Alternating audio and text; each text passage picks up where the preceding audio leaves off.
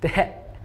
国民プロデューサーの皆さん埼玉県出身20歳の高橋渉です。よろしくお願いします。3歳から高校3年生まで、えー、サッカーをやっていたので特技をお見せしたいと思います。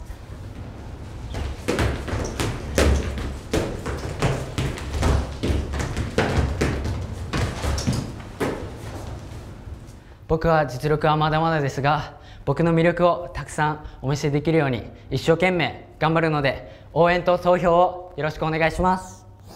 여러분데뷔를위해서열심히노력하겠습니다응원을정말잘부탁합니다여러분皆さん사랑을주세요어많이사랑해주세요뿌잉뿌잉왕왕어